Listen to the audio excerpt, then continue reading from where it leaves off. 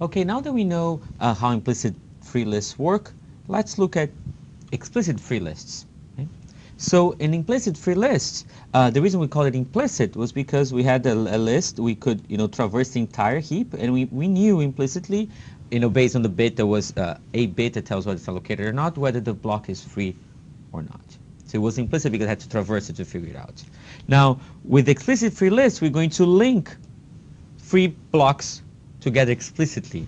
How do we do that? Well, instead of just having the size and uh, a bit saying whether it's allocated or not, like we had an implicit free list for each block, what we're going to do is since in free blocks we do not have the payload and the padding, we're going to use pointers. We're going to use we're going to put pointers there, one that points to the next uh, free block and one that points to the previous one. Okay. So, uh, and by the way, we're still going to need boundary tags for coalescing. Right? We'll see. We'll see examples of that. Um, now, and logically, it's a doubly linked list. As I said, you know, we have pointed to the previous one and pointed to, to the next one. So logically, it feels like you know organizing some order here. But physically, you know, when you look at how it's in memory, it could be really in any order. Okay, so we have one and the other, and so on. So let's see how allocating from, from explicit lists uh, look like. Okay, so here we have, uh, this is before the allocation, and we have a pointer to the next block, and these are all free blocks, okay? These are all free blocks. And uh, this is pointing in one direction, pointing the other direction.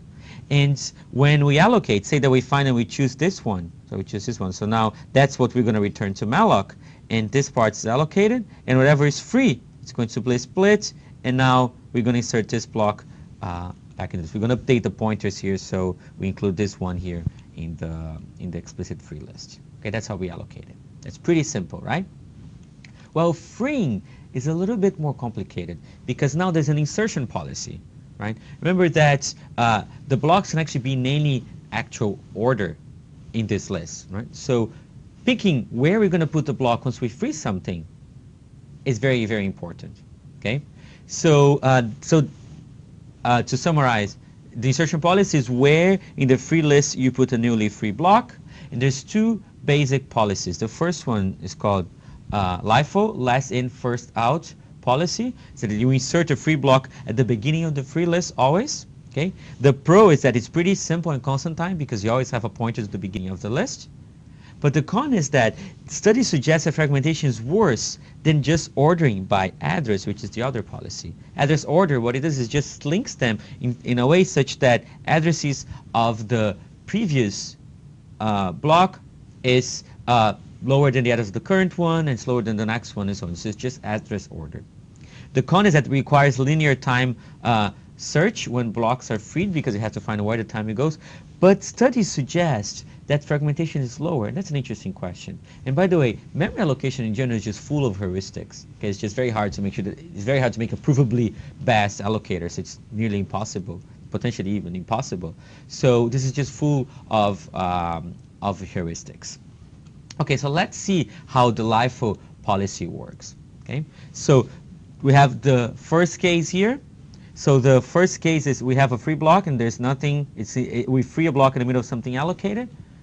And what we're going to do is we're just going to free it and up and since we're doing LIFO last in first out, it's going to be this is going to be inserted at the beginning of the list. So now the root points to this new free block, and then we update the pointers accordingly. The, the old one now the old first one just points back to the one that was just inserted. Pretty simple, right? Okay, so let's see the other case. The other case here is that we're freeing something, and right before it, we have right before it we have a block that's free. So what we're going to do? Well, we're going to um, merge it, okay? And uh, but now no, the the resulting block, the resulting block here is the one that gets inserted uh, in the beginning of the list. So now the root points here? Because we just got this old block here and extended it with the one that we just freed.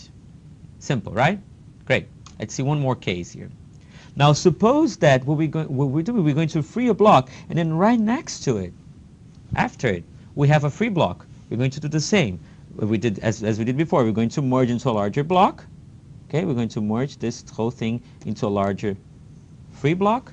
And then we're going to update the links accordingly such, accordingly, such that the root now points to this newly formed larger block. We remove the older block here because it really doesn't exist, just part of a larger one now, and we're going to update the pointers accordingly. Okay, good. So like the, the fourth and uh, last case here is when you say that you free a block, and then there's there's two blocks that on either side, on both sides of it, that are now can be coalesced into one large block. So we're going to we're going to remove the old ones from the list. We're going to create a new large block, and we're going to insert this large block at the beginning of the list. So the root points there now. Pretty cool, right? Okay, so now we create a big block. Hopefully this happens a lot, so we're going to have more, uh, lots of large blocks. So to, to summarize, comparing uh, explicit free list to implicit free list, the allocate is linear in the number of free blocks instead of all blocks like what we had in implicit in the implicit free list. And this is much faster when most of the memory is full. Well, why is that? Because when most of the memory is full, in the implicit case, we're going to have to traverse entire memory. Okay, so we, we might have to traverse not the entire memory, but most of memory until we find one. It's likely that we're going to do that. With explicit free list, you know, that's just we just know it. Okay, it's slightly more complicated to allocate in free because it needs to splice blocks in and out of the lists. Okay, we also need some extra space for the links. So uh, two extra words needed for each block. So that means that the minimum free block size has to be might have to be a little bit larger, so it leads to more internal fragmentation, such as life. But I think it's worth it. And uh, so in most common use of explicit free lists is, what we, is with what we call segregated free lists, where the idea is to keep multiple linked lists of different sizes of free blocks, uh, and even possible for different types of objects. Okay, that's what that's what we're going to see now. That's the method uh, three. Okay. Uh, so the concept is very, very simple. We're going to have a bunch of size classes. And for each size class, we're going to have a free explicit free list. So here's for size 1 and 2, we have one. For size 3, we have another one, and so on. Okay? And often we have separate classes for each small size. Okay? And then we have one, you see this, you know, this, those are the small ones, and then we have 9 and infinity, a big, big one. Okay? So, and for larger size, we have one for each uh, 2 power size. Okay, power of 2 size. So how, how, how does that work in a little bit more detail? Uh, here's how we're going to allocate it. Okay, so given this array of free lists, and each one of some class sizes, if you allocate a block of size n, what you're going to do first is we're going to find a list of size m that's larger than the size n that you want. If if, if we find uh, a block that's appropriate, we just allocate it. If no block is found, we just try the next larger class and repeat until a block is found.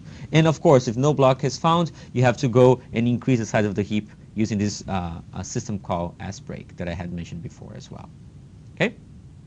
So, uh, and then when we do that, we're going to allocate a block of n sizes, uh, of size n from this new memory, and place the remainder as, uh, as a single free block in the largest class. We want to keep things as large as possible and then start uh, uh, splitting them. Okay, great. So when you free a block, you want to free the block, look at the resulting free block, coalesce it as much as you can, and then reinsert that block into the appropriate list. Okay, so um, that's pretty cool, right? So now we might have, and when we free, we might actually change the category, have to insert it in a different uh, in a different list.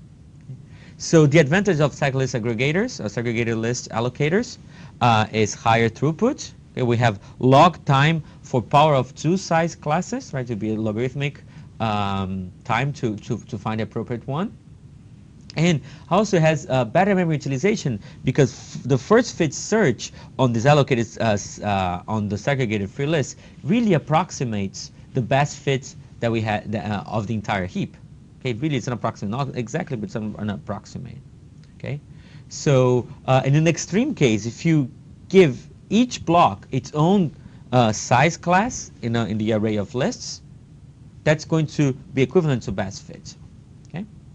All right. So to summarize, uh, the summary of the key allocated properties, uh, uh, allocated policies are the placement policy. We have first fit, next fit, and best fit. Okay, that's some. So in this trades off throughput for for fragmentation. Okay. So the observation I just told you is that segregated free lists approximate the best fit placements without having to search the entire free list. And so we have a, splitting policy. When do we go ahead and split free blocks? Okay, so that depends on how much internal fragmentation are we willing to tolerate. Okay, so you might to, um, and there's also coalescing policy. You could do coalescing um, as soon as you do free. Okay, when you call free, just do it right away. So that might have some throughput uh, implications because you do more work at free. Or you can just delay it as long as you can uh, so you don't pay the throughput, but then you might be paying more um, fragmentation. Okay, see you soon.